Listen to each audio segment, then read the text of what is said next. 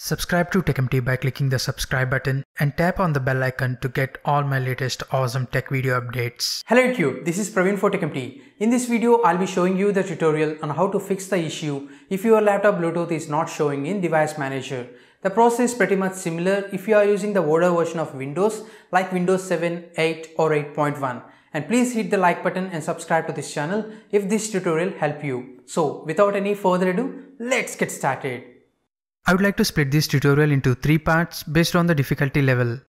So now let's look at the first one. This is simple.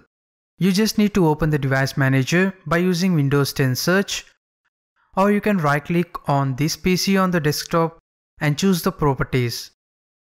Now here at the right pane, you will find device manager. Once you are on the device manager window, go to view and choose show hidden devices. You may now see the Bluetooth driver right inside the device manager. Now choose the Bluetooth icon and right click on it, then choose scan for hardware changes. If this method didn't work for you, then check the second one. This is a bit advanced. We first need to know the laptop motherboard model number. If you know that, then do a Google search to download the relevant drivers for your Bluetooth device or else follow these steps. Visit cpuid.com and download the CPU ID tool which is totally free and safe. You can find the website here in the description of this video. Once it is downloaded, install it on your laptop. Now open the CPU ID tool and move to Motherboard tab and look for the model number. Now open google.com and make a search like Bluetooth drivers followed by your motherboard model number that we found using CPU ID to download the right drivers.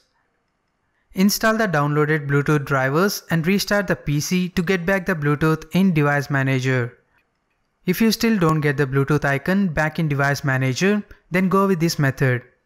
Sorry, I can't guarantee that this method will fix the Bluetooth not showing in Device Manager issue, but give it a try.